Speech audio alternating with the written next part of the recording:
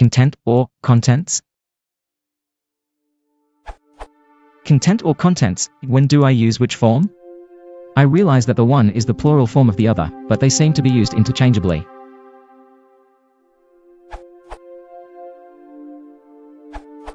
The new Oxford American Dictionary entry for content has 1. Usually contents, the things that are held or included in something. He unscrewed the top of the flask and drank the contents. He picked up the correspondence and scanned the contents.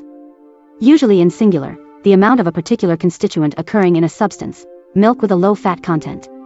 2. The substance or material dealt with in a speech, literary work, etc., as distinct from its form or style, the outward form and precise content of the messages.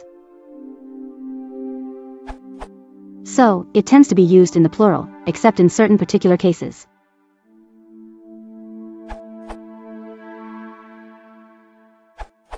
You should be aware where you're using it. According to LDOCE. Contents, plural, 1. The things that are inside a box, bag, room etc. 2. The things that are written in a letter, book etc. She kept the contents of the letter a secret. Content, singular, the amount of a substance that is contained in something, especially food or drink. Water with a low salt content.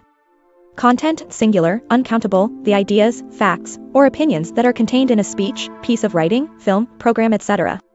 The content of the media course includes scripting, editing, and camera work. Content, singular, uncountable, the information contained in a website, considered separately from the software that makes the website work.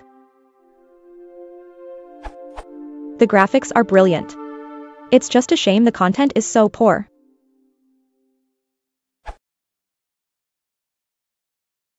If you want to support my channel, please consider